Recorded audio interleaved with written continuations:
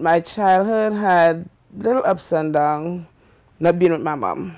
To be honest, um, my uncle thought, seeing that my mom wasn't in the financial situation as he was, to give me a better opportunity at life. So that was the main focus of having him raise me, he and his wife. And at what age did you move from your mom's house to your uncle's house? I left at the age of four and a half. There was uh,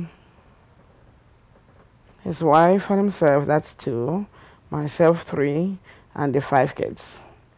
So five and three are eight, eight of us total wow. lived in the house. The days starting very early, like around 6.30 in the morning, the latest. My responsibility in the house at the time was helping to keep the house clean, helping to keep the smaller kids tidy, cleaning the bedrooms, the bathrooms, polishing the floor.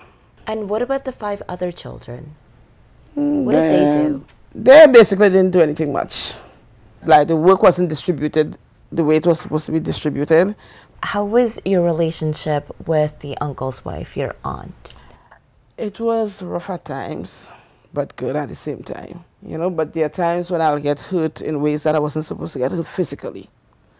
Most of the times that I was beaten and um, disciplined, I didn't really need it because I was, not all times, but most times I was accused of doing things that I didn't do.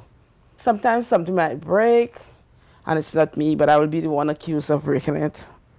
At one point, it got to a stage where I can be bothered. It came like, it was so regular that it didn't matter to me anymore. It's like you prepare your body and your mind and everything for what's going to happen, so it's like nothing was happening.